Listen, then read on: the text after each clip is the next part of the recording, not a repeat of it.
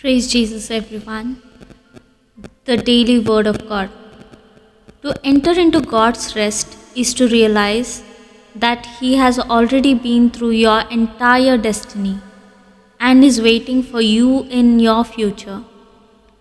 Focus on Him as the I am of every day and declare His all sufficiency in every situation.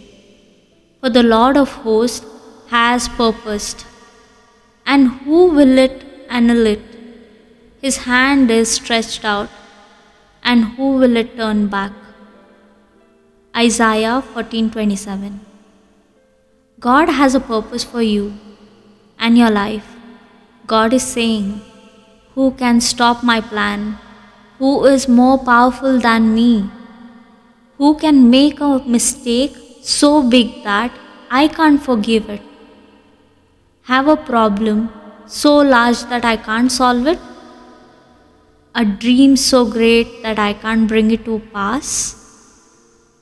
God already has solutions to every problem that you'll ever face.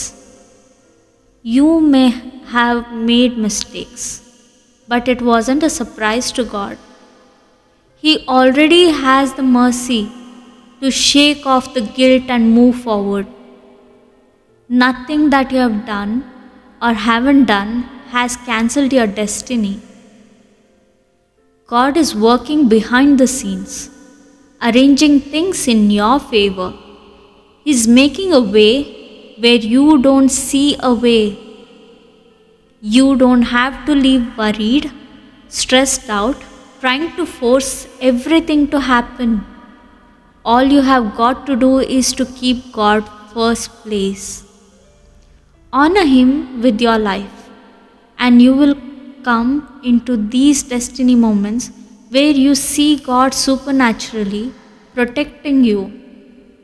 Where you are at the right place, meet the right person, that wasn't coincidence. That was the favor of God moving you towards your divine destiny. You may not see how this can happen, but God will have thousand ways to do it that you never thought of. God is directing your steps down to the smallest details. He can make things happen that you can, could never ever imagine make happen on your own. He is for you on your side, and what He has purposed for your life will come to pass.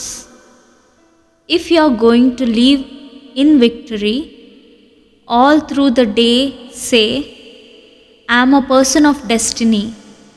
His favor surrounds me like a shield.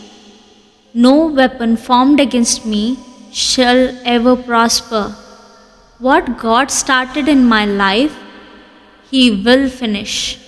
I will become everything He has created me to be. Allow God to be in your peace. But the one who always listens to me will live undisturbed in a heavenly place, free from fear, confident and courageous. That one will rest unafraid and sheltered from the storms of life. Proverbs 1:33. Thank you in Jesus' name. Praise God.